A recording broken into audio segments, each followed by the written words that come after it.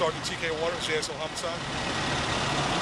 On Tuesday, um, at 4.08 p.m., patrol officers responded to uh, 10,000 block of Spivey Lane. They responded in reference to an unknown investigation. While they're on the way here, they get an update from our headquarters, and they're uh, described as a, as a shooting investigation.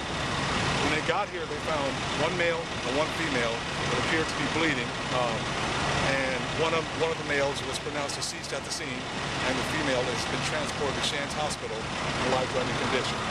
Currently, we're trying to sort out exactly what took place. There's a lot of things going on, and until we can do that, there's no other information that I can give you guys. Both were shot.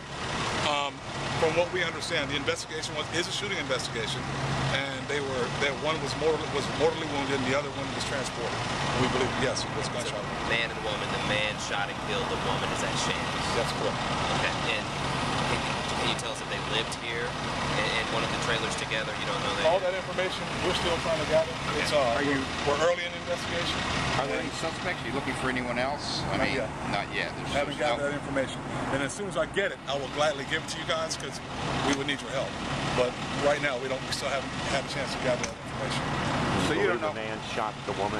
Is that what the belief is? Did I hear that wrong? No. Oh, you don't know. No, we don't know that yet. You don't know whether this was just between the two of them or whether there was other, with other people. Right now, we're trying to work out exactly what happened. Whether that- we don't have that information yet, Because you don't know exactly what happened. but we do believe there's foul play involved.